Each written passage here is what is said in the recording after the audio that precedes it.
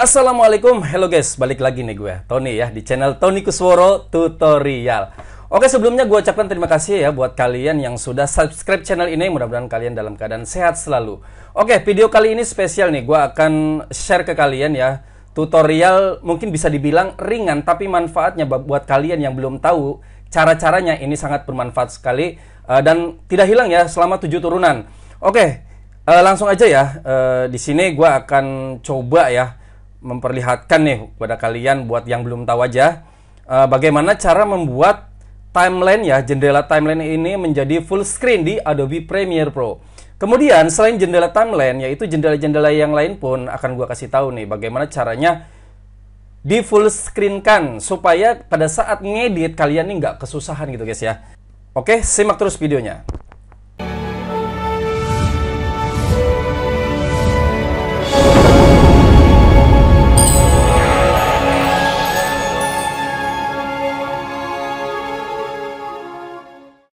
Ya, sekarang kita lihat di timeline ya. Ya, ini di sini ada file-file gitu ya. Katakanlah ini file-file. Kalau kita ke atas ini garisnya, nah tuh banyak sekali guys ya sampai ke atas tuh. Kita ceritanya nih mau ngedit yang ini, yang itu dan ya banyak lah yang mau kita edit di sini. Tapi area timelinenya terbatas kayak gini, kita agak kesulitan ya guys ya. Ditambah kalau kita ke atasin monitornya jadi kecil begini kan gak asik banget gitu ya. Oke, kita kembalikan lagi ke bawah ya. Kita kembalikan lagi ke bawah kan bisa bang. Nih apa uh, yang ini yang di samping ini kita kecilkan. Contoh kayak gini nih. Tuh kan bisa. Tetap aja kagak muat. Soalnya kan ini masih banyak lagi nih yang mau kita edit. Dan gak leluasa lah gitu ya guys ya. Nah yang kedua di sini nih ya. Di effect control kita membuat animasi-animasi nih di sini. Ada perubahan dari position, ada perubahan dari scale maupun rotasinya semuanya akan kita edit di sini. Kurang dikit atau kurang ke mana dikit atau di sini mau kita kasih sedikit efek atau apa dan sebagainya itu agak sulit ya guys ya. Karena areanya kecil seperti ini ya. Oke langsung aja akan gua kasih tahu ke kalian. Ya caranya mudah sekali guys ya.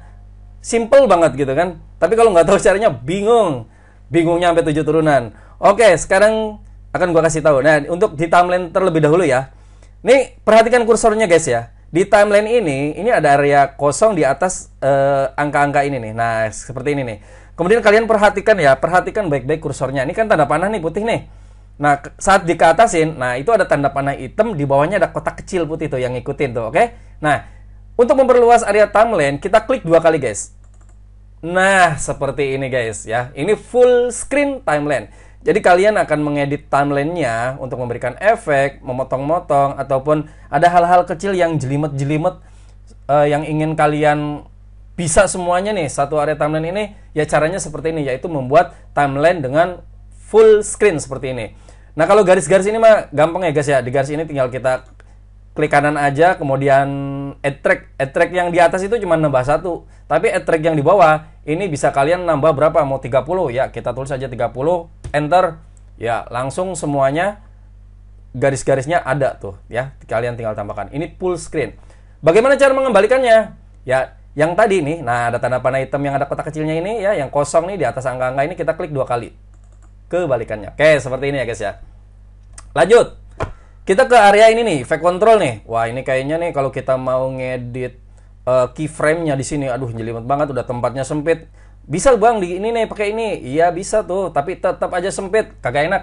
Caranya seperti tadi, di atas 00 ini atau di area kosong yang masih di area effect control ini di sini ya kita klik dua kali.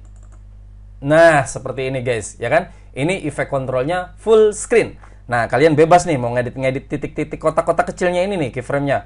Mau kalian geser ke sana, ke mana-kemana, waduh bebas banget dah pokoknya ya. Oke, kita kembali lagi. Kita klik dua kali seperti biasa.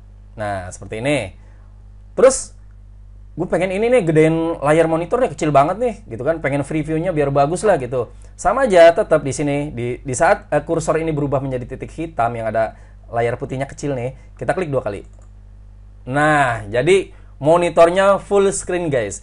Uh, ini bisa bermanfaat juga untuk kalian yang ingin masking ya, masking yang kira-kira agak jelimet gitu kan, kecil-kecil, lekukan-lekukan gini mau maskingnya. Nah, kalau dengan full screen seperti ini, kalian akan lebih leluasa dibantu dengan yang fit ini, yang kalian pengen digedein berapa persen 50, 75, 100 ataupun 150 persen intinya kotak ini lebih besar dan lebih leluasa kalian untuk mengeditnya Oke, kita kembalikan lagi ya. Nah, lihat kursornya jika udah berubah seperti ini, kita klik dua kali.